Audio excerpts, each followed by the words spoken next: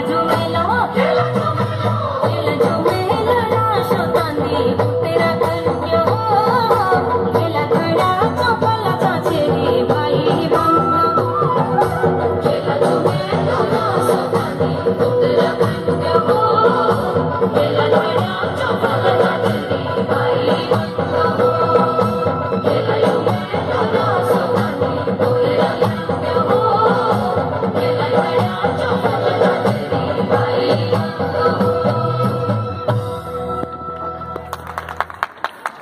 Blessings have power.